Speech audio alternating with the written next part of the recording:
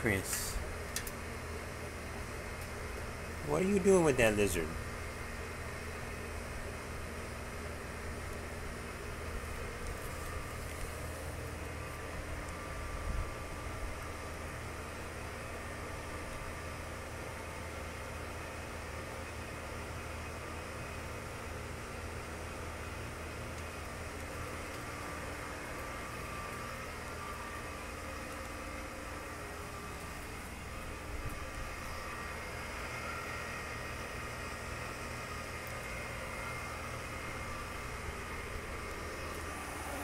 Okay, let him go. Let him... Chris!